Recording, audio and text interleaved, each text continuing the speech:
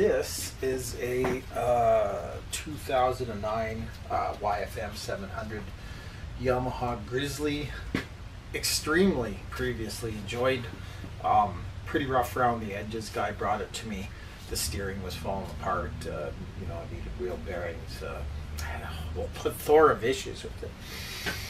Anyways, nonetheless, um, you know, the he had had it to another dealer. He put a bunch of hung a bunch of parts on it and the steering. It's really weird because the steering stem was actually stripped, so you turn the bars and the wheels wouldn't turn. So um, it's really strange that they replaced all the U joints and not the U joints, but the ball joints on the steering, and and just ignored the fact that the bars weren't quite connected to the wheels anymore, which is kind of strange. But anyways, nonetheless, guy brought it in to me. Thought it was a power steering EPS unit, but it's it's not. It was a collar, and uh, it was all stripped out in there. So I replaced the collar. So I'm just making a video because as I was working on this, there was a bunch of other issues wiring.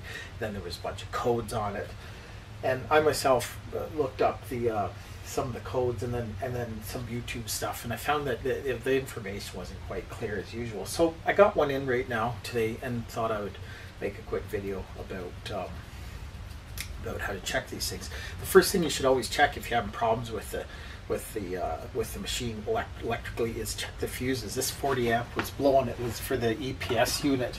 I couldn't get it spit out codes, and then after replacing the blowing 40 amp fuse, it's this little green one here. And you'll find those right down in there. And there's two of them and then this there was a spare. So anyways there's that. Check all the fuses before you. Start with anything and then when you're diagnosing this diagnosing these electrical issues you should always make sure that the battery is fully charged like it's good battery. I put a brand new battery in this thing. The other one was a little weak so if you have a weak battery and especially if you're cranking it it sucks so much juice from the battery that it doesn't leave a left uh, there's not a lot left over for all the other peripheral systems to work, and sometimes that gets a little glitchy with electronics and whatnot. So make sure the battery's charged. Check all the fuses before you do anything, and then and then make sure the battery connections are tight too, because you wouldn't believe how many times I found that to be the case that the connections were just loose. So, anyways, with respect to the um, uh, fuel diagnosis. A lot, lot of, lot of kind of confusion. Like here's so the first thing you do before you engage in in this uh, in checking for the um, trying to get this thing to spit out the codes and what's wrong with it.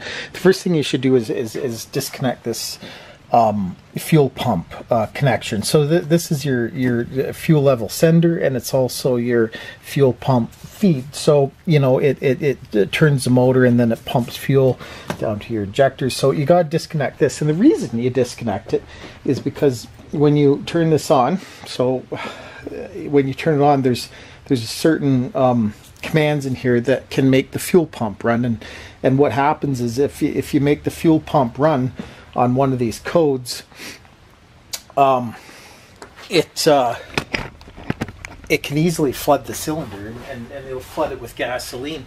And so so a couple things can happen with that. A lot of it's funny a lot of people don't explain this stuff. They say just never do this and you got to do that but they don't explain why that you have to disconnect that pump. Is because on on a certain one i think it's d50 or something on the code on the on the dash, if if if you set it for that, the injector will start spraying, and it'll actually fill up the cylinder full of fuel, and it can wash down into the oil. But also, more importantly, it can as as when next time you go to start it, if it's full of fuel, it'll do what's called hydrolocking, and and as the piston comes up, if the valve's open, it can actually bend the valve and, and cause cause you a lot of grief, pull the motor and that sort of stuff. So so while you're holding it. There we go. So into diagnostic mode. So so you have to hold these two buttons. It's this, it's the select and the reset at the same time, and then as you're holding it, then you turn on the ignition. And then now that it says diag on it for diagnostics, you press this once more, and then it'll go into a uh, menu here. Yeah, there we go. So D1. So the the first, so you can flick through all these diagnoses. So there's one, three, five, six, seven, and they all do different things. They all give you different information. So the first one's your TPS. So as you push the throttle on, you'll see it changes and it should be it should start out within the parameters of 15 to 20 and it goes all the way up to uh, this one 94 and interestingly enough, if you want to see if the TPS sensor is faulty, as you go up slowly through these, see how it's counting 29, 30, 31, 32. I won't go all the way to the top, but you can slowly push the throttle and it'll start counting. And if it misses a number, um, you'll know that the rheostat in the um, in the TPS sensor is faulty.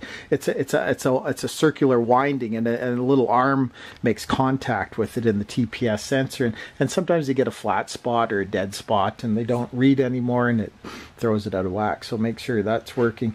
And then, anyways, the next one's you know, there's some in here for the current air temperature and then the coolant temperature, etc., etc. But the one that's really most important and most ones people concern themselves about is D60, and that's the current codes on the machine. And if there's any current codes, then it'll spit out the numbers between like 1 and 70, something in there. And oddly enough, on the FJR, say uh, 1300, it's the same. Let's see if we can't get it to do that. So yeah, so you just select and reset, you hold them down and you turn the key and it'll do actually the exact same thing on the FJR 1300. It'll come up, see, diagnostic, and you press it again. Both of them hold it, and then it'll go into the same thing. I see, and there's the there's the TPS, and as you roll on the throttle it counts. And then uh, and then you can um, you know so you hear the fuel pump going. I haven't disconnected on this so that's what I'm talking about. Be careful with that anyways moving right along battery died sorry but anyways so um so that's the gist with that and then the next one after 60 is the, is the next most important one. And so you select up, and that's 61. And this will tell you your history of codes. And so it has a 22 on there. I'm not sure what that is. I'd have to look it up. But and I've been working a lot on this machine, so so it it throws some codes when you unplug something and turn the key on. It senses it's not there. For instance, the airbox. I had the airbox off, and there's a little tab there for the for the uh, airflow sensor which by the way in there you should always whenever you clean your filter be careful of that because don't don't get it contaminated with uh, with uh, oily stuff or touch it or anything. It should be clean as clean as can be anyway. So otherwise you'll throw weird codes. So so 22 so that's the that's the gist of it. So this is how you extract the codes from your Yamaha Grizzly. Now it doesn't always do throw it give you a code if something's wrong if the machine's not running right or what have you. So and so that's that.